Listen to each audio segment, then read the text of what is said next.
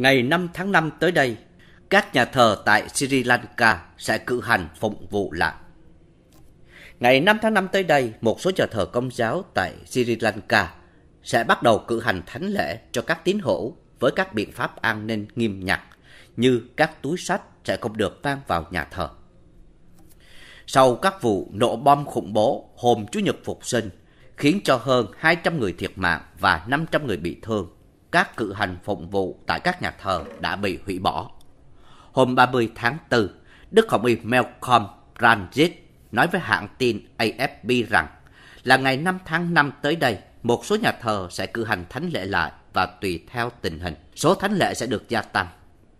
Đức Hồng Y cho biết là các ủy ban an ninh cho các giáo dân thành lập sẽ có trách nhiệm xác định những người vào nhà thờ và các giáo dân của họ sẽ phải xác nhận danh tánh của họ trước khi vào nhà thờ.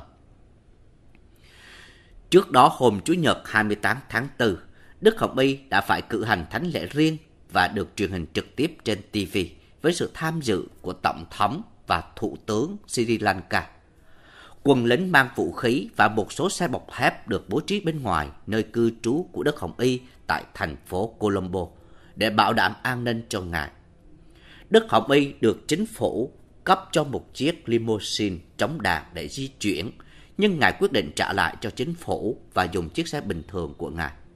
Đức Hồng Y nói rằng, tôi không sợ, tôi không cần xe chống đạn để di chuyển.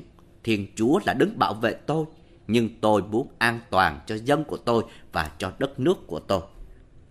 Đức Hồng Y cũng chia sẻ rằng, Ngài quan tâm đến việc gia tăng các hoạt động an ninh chống lại các chiến binh.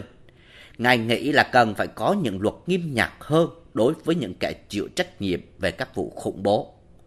Đức Hồng Y cũng phê bình chính quyền đã thất bại trong việc chia sẻ tin tình báo trước đó, cảnh báo về việc các chiến binh chuẩn bị tấn công chống lại các Kitô hữu.